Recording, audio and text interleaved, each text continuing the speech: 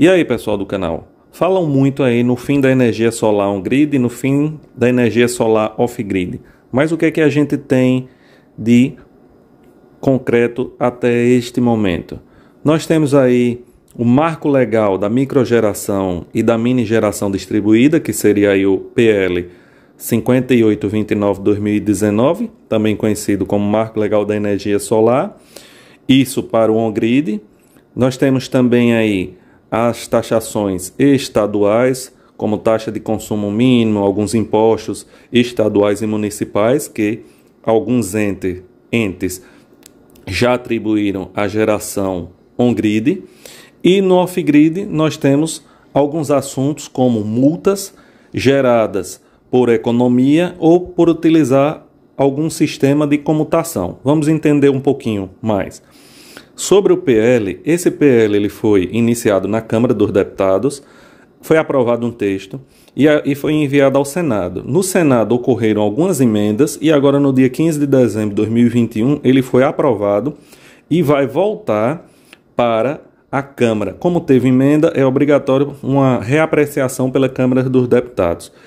Em breve resumo, esse PL 5829 de 2019, ele estabelece aí uma porcentagem, uma cobrança de até 28% em cima do que você produzir, que é atribuição à utilização do fio B, vulgarmente conhecido como fio B. Esse essa taxação de até 28% do fio B seria para gerações até 500 kW, sistemas que geram até 500 kW que na verdade hoje corresponde a 99% da geração de energia solar aqui no país. Desses 28%, até o final do período de transição, pode chegar até 62%. Mas vejam, inicialmente essa transição ocorreria, essa cobrança, de 2023 até 2028, começando com 15% dos 28% do fio B e chegaria ao ano de 2028 próximo aos 90% de cobrança daqueles 28%. A partir de 2028 vai ter uma regrazinha aí que vai depender de uns de cálculos entre concessionária e algum entes que podem elevar essa contribuição aí até 62% do que você produzir e injetar no sistema. Não é basta o autoconsumo você tem que produzir e injetar em cima do que você vai mandar, o que vai transitar aí por essa fiação.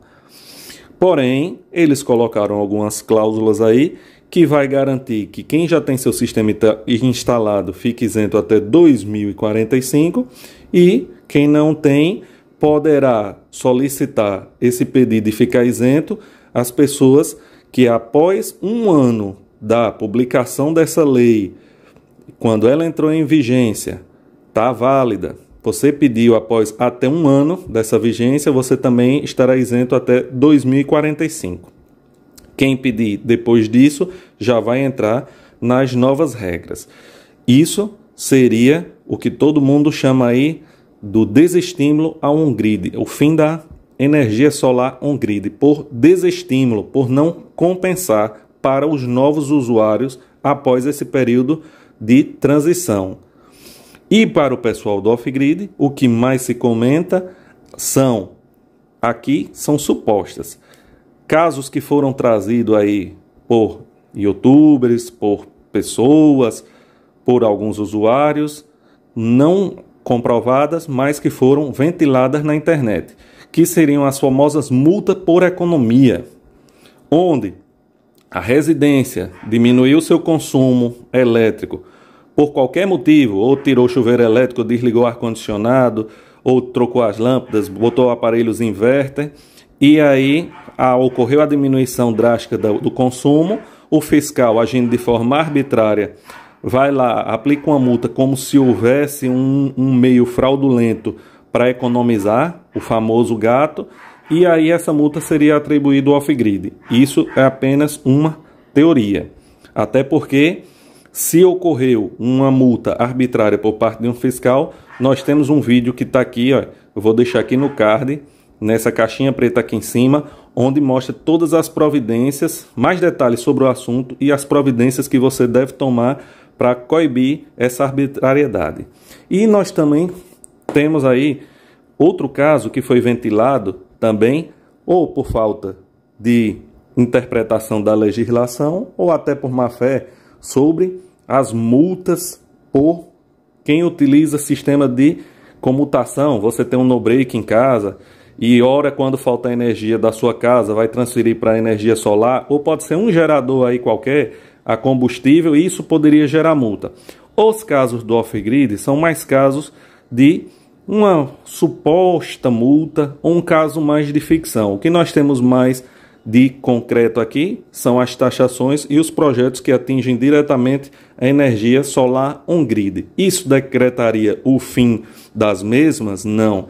Apenas o desestímulo e a diminuição da economia que o usuário teria com esse tipo de energia, que, no meu ver, ainda vai continuar valendo. Não tão rentável quanto antes do marco regulatório, mas ainda sempre vai trazer algum certo de economia.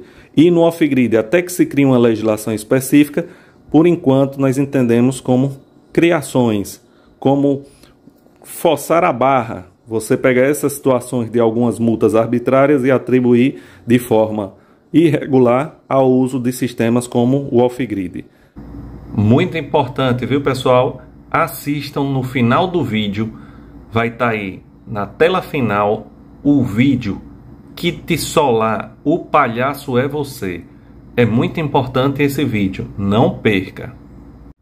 Veja, de forma bem rápida aqui, uma animação sobre o projeto UPL 5829-2019.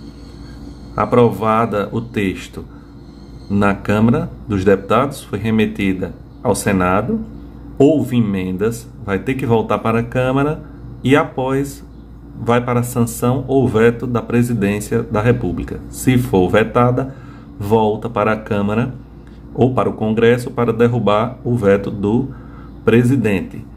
Como já comentado, quem já tem o sistema mantém as regras atuais até 2045.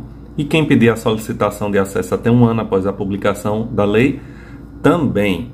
A tarifa aqui é do fio B, que seria 28%, e esses 28% teriam uma gradação de cobrança. Começaria em 2023 com 15%, terminaria aí em 2028 com 90%, e a partir do 2028 seria aquele ajuste, aquelas novas regras de cálculo da concessionária.